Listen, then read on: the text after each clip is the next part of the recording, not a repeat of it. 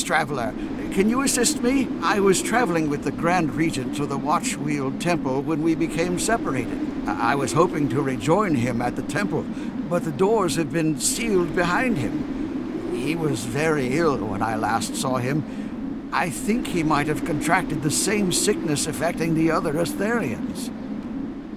I was planning to enter the Watchwheel through the other portal in the old Estherian refuge. Unfortunately, the keys have been stolen. Goblin miners took one, and we believe that some slavers who recently moved into the area have the other. It takes both keys to activate the Watchwheel portal, and it is beyond my abilities to retrieve them. Recover the passkey ember from the slavers, and the latchkey ember from the goblins. You can use them to open the portal in the refuge and intercept the Regent before he infects the Guardian. You have received a quest.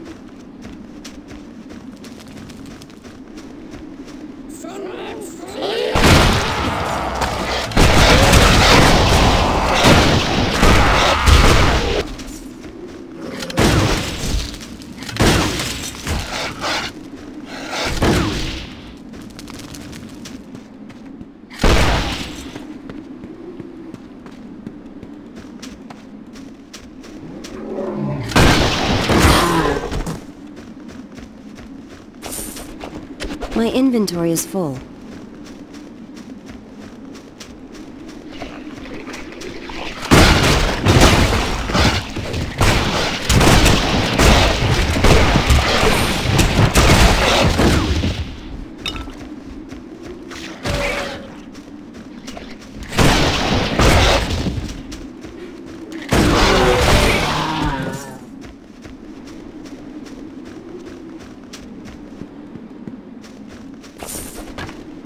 Can't carry anymore.